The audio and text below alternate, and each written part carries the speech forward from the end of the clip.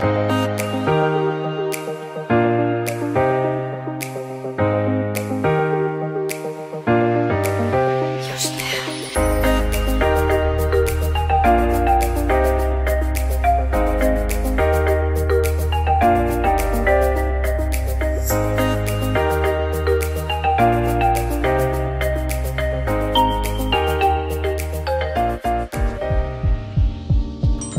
ดีครับ b d a s ตัวเน็ตครับ วันนี้เราจะมาอัปเดตงานโรงแรมสมุยนะโทษทีวันนี้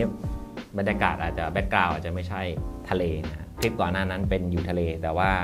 พอเสร็จงานแล้วไม่ได้ถ่ายละเหนื่อยก็กลับมาก่อน เสร็จไปแล้วกล้องน่าจะมีประมาณ 32 กล้อง แล้วก็ access point ทุกห้องน่าจะมีประมาณ 40 40 กว่าตัวผมจำไม่ได้ประมาณ 49 อะไรประมาณเนี้ซัมติงนะมาเล่าบรรยากาศหรือว่าเล่าเรื่องของการดีไซน์ ทั้ง solution เนี่ย เราใช้ network จาก Reyee นะครับหรือว่าแบรนด์ Ruijie เกือบทั้งหมดเลย แล้วก็ตัวกล้องเราใช้กล้องของต้าหัวนะครับ พร้อมกับ NVR site นี้เราไม่ได้ใช้ NAS ในการบันทึกนะ ก็ต้องบอกก่อนบางคนคิดว่าเฮ้ย BNAS จะต้องขายแต่ NAS ตัว Synology เราใช้กล้องบันทึกหรือเปล่าเปล่านะคือเราดูที่งบประมาณลูกค้าแล้วก็ความเหมาะสมบางทีลูกค้าไม่ได้ ไม่ได้ให้ความสำคัญกับตัวเรื่องของการ backup หรือว่าการไม่ได้ใช้เรื่องของฟีเจอร์ฟังก์ชันเกี่ยวกับ NAS แล้วกัน ไม่ได้ใช้ NVR ง่ายๆเนี่ยมันเหมาะสมเราก็เลือกเข้าไป ทีนี้มาเล่ารายละเอียดก่อน ก็คือเราเตอร์เราใช้ของตัวลุยเจียนะครับหรือเลยี่เนี่ยก็ใช้เป็นตัวรุ่นคลาสสิกแหละก็เป็นรุ่นที่รองรับเน็ตได้1กิกนะครับอันต่อมาเราก็ใช้ตัวสวิตช์เป็นสวิตช์ไม่ได้เป็นตัวแพงนะ เป็นสวิตช์ที่เป็นสำหรับ CCTV ของเอยี่เหมือนกัน ซึ่งข้อดีของมันนะก็คือมันทำเรื่องของ VLAN ได้ แล้วก็มันมี port เป็นเน็ตเบนมันสามารถที่จะดูได้ว่า port เนี้ยมันไปเสียบกับอุปกรณ์อะไร นี่เป็นส่วนสำคัญของตัว Ruijie เลยนะ เพราะว่าตัวสวิตช์ที่มันเขียนว่าข้างกล่องว่า cloud อะมันจะ detect ได้เลยว่า port เนี้ยมันเสียบกล้องวงจรปิดหรือเสียบ access point อยู่ บางทีเนี่ยถามว่ามันสำคัญยังไงสำหรับลูกค้าที่กำลังดูอยู่ ตรงที่ว่าเวลาเราไป install หน้างานเนี่ยมันเป็นความรับผิดชอบของช่างนั่นแหละ ช่างจะต้อง remarkต้อง remark สายทุกสายที่ไปติดตั้งว่าสายเนี้ย ปลายสายมันคือกล้อง หรือปลายสายมันคือ access point นึกออกไหมฮะ อันนี้คือตัวอย่างนะ ถ้าเป็น IP phone ก็โทรศัพท์นะ โดยมากนะนะช่างจะไม่ mark เพราะว่าสุดท้ายแล้วอะช่างจะลืม คือเขาจะ mark คือแบบลืม mark อะคือพอดึงมาถึงปุ๊บมันผ่านท่อผ่านซอกตึกผ่านนั่นผ่านนี่มันสุดท้ายสายนี้คืออะไรวะสายนี้คืออะไรคือเราจะไม่รู้ โดยปกติแล้วอะของ b n a s มันจะเราเราจะ mark แหละ แต่มันมีช่วงจังหวะเผลอ คือช่างลืม ช่างก็ลืม คือดึงไปแล้วแล้วก็แบบเฮ้ยทำไงดี ข้อดีโชคดีของตัว Ruijie คือเฮ้ยผมเช็คจากตัวเว็บตัว cloud ได้เมื่อสวิตช์มัน on ปุ๊บมันจะ detect เลยว่าเฮ้ยไอตัวสาย LAN port เนี้ยมันคือกล้องนะ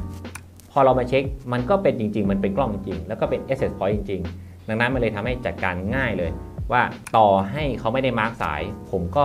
ตอบถูกว่าสายนั้นมันคือเอาไปเสียบกับอุปกรณ์อะไร มันจะบอกเลยว่าพอร์ตนั้นน่ะเอ่อ ใช้ไฟไปกี่วัตต์แล้วก็ Data ผ่านไปกี่เมกะบิต ถ้า Data ผ่านแบบคงที่นั่นแหละกล้อง แต่ถ้า Data ผ่านแบบบูบวาบนนั้นอาจจะเป็น access point อะไรประมาณนี้นะ ถามว่า เอ้ย แล้วทำไมจะต้องมานั่งรู้ล่ะ ว่านี่คือ access point หรือไอ้นี่คือกล้อง ก็เพราะว่า access point อะเวลาเราไปทำงานกับโรงแรมอะมันจะต้องปล่อยคลื่นสัญญาณที่เป็นคลื่นสัญญาณแบบเอ่อ guest กับแบบ operation ถามว่าทำไมต้องดีไซน์ให้ยุ่งยากขนาดนั้เพราะว่า guest เนี่ยมันเป็นของแขกจริง ๆ เขาไม่มีสิทธิ์ที่จะมาดูตัวข้อมูลในระบบของเรา ไม่ว่าจะกล้องหรือ NVR อะไรก็แล้วแต่ แล้วก็ในเรื่องของถ้าเกิดเรานึกถึงว่าเรามีกล้องทั้งหมดสัก 30-40 ตัว คุณมี IP อยู่ทั้งหมด 255 IP เท่ากับคุณหายไปละ40 IP แล้วถ้าเกิดคุณมี access point อีก 50 ตัว คุณหายไปเกือบ 100 IP แล้วนะ แล้วถ้าแขกคุณมีทั้งหมด 200 ห้อง ห้องหนึ่งมีแขกพักอยู่ 2 คน เท่ากับ 4 อุปกรณ์ ยังไง IP ก็ไม่พอนะ เพราะฉะนั้นเนี่ยเราต้องทำ VLAN ใหม่ แล้วก็ทำ VLAN เนี่ยมาเพื่อแขกโดยเฉพาะ เพื่อจะให้มี IP เพียงพอกับแขกที่เข้ามาพัก อันนี้พอเห็นภาพนะ อันนี้ผมอาจจะแตะยาวไปนิดนึงถ้าเกิดคนที่ไม่เข้าใจ ดังนั้นเนี่ยกลับมาที่ตรงนี้ว่า พอผมรู้แล้วว่า port ไหนเป็น access point เนี่ยผมสามารถจะ mark ได้ว่าไอ้ตัว access point เนี่ยมันรองรับ VLAN อยู่แล้ว VLAN ไอ้ port เนี่ยต้องรองรับ VLAN ที่เป็น VLAN ของแขกไปด้วยทำไมถึงต้องรู้ว่า port ไหน port ไหน เราก็จะแตกสาขาออกไปนะครับเป็น node ออกไปก็คือเป็นสวิตช์ที่เป็น 24 port ของ Reyee เหมือนกัน ในหลังบ้านบังกะโล